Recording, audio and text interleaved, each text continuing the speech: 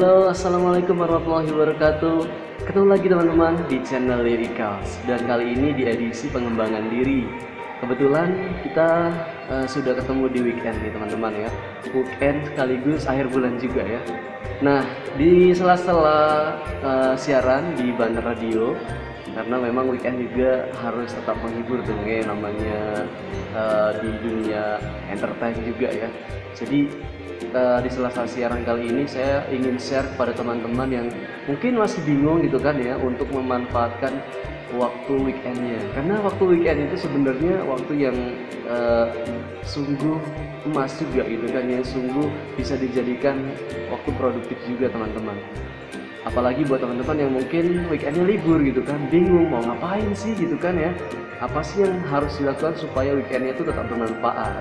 Nah kali ini saya akan uh, share ya tiga uh, kegiatan yang uh, tentunya bisa membuat weekend teman-teman bisa lebih bermanfaat, bisa lebih produktif juga. Mungkin ini tiga ini sih uh, tidak baku banget ya istilahnya teman-teman juga mungkin punya cara tersendiri. Tapi ini cara saya di tiga ini, tapi sebenarnya banyak sih. Tapi biar lebih sederhana aja sih. Jadi dibikin tiga aja. Kalau teman-teman punya uh, istilahnya kebiasaan yang positif yang produktif mau di share juga aturan share juga di komen ya. Oke teman-teman kita saksikan ikutin apa aja kegiatan weekend yang bisa membuat kita produktif.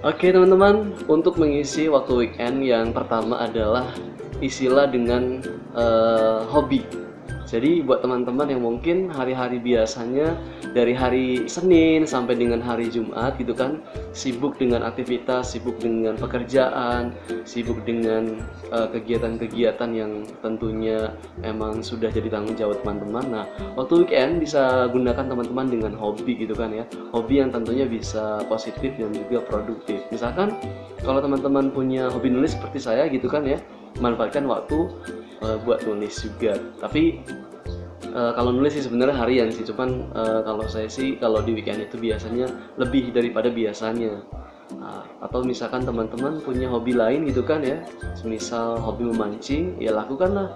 Yang penting uh, kegiatan itu bisa membuat teman-teman senang gitu kan ya, bisa mungkin keluar dari biasanya rutinitas teman-teman di hari-hari biasanya. Nah, carilah hal-hal seperti itu. Intinya sih yang positif, yang menyenangkan dan juga tentunya uh, kegiatannya bisa bermanfaat untuk kita. Iya, itulah yang pertama teman-teman.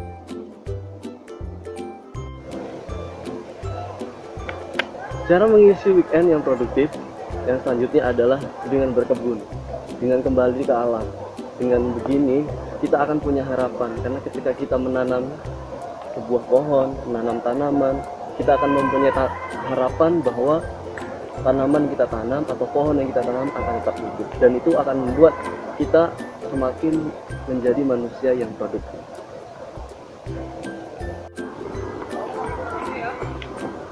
Untuk mengisi weekend yang produktif yang selanjutnya adalah dengan berolahraga karena tubuh juga uh, memerlukan sebuah energi dan salah satu untuk membuat kita tetap sehat, tetap berenergi dan tetap uh, bersemangat adalah dengan berolahraga. Untuk itu silakan isi waktu teman-teman weekend teman-teman dengan kegiatan berolahraga apa pun ya, boleh dengan jogging ataupun olahraga lainnya. Nah, itu dia teman-teman ya, tiga kegiatan untuk weekend yang bermanfaat, weekend yang produktif. Mudah-mudahan tiga kegiatan ini bisa menjadi referensi aja buat teman-teman yang tentunya teman-teman juga punya e, cara tersendiri itu kan ya untuk mengisi weekend. Yang penting sih teman-teman ya, yang ingin saya share di edisi kali ini adalah tetaplah produktif gitu kan di waktu apa pun.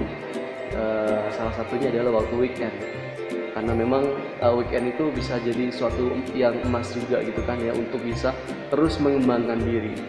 Kita terus mengembangkan diri uh, kembangkan kemampuan kita juga tentunya biar uh, tentunya kemampuan kita diri kita pun terus terperbaiki terperbaharui terupgrade diri gitu kan ya sehingga kita bisa menjadi manusia yang produktif. Terima kasih teman-teman sudah menyaksikan video kali ini. Mudah-mudahan video ini bermanfaat. Jangan lupa like juga ya. Mudah-mudahan uh, makin banyak juga kebermanfaatan yang uh, saya hadirkan di channel Ikal ini terima kasih. Wassalamualaikum warahmatullahi wabarakatuh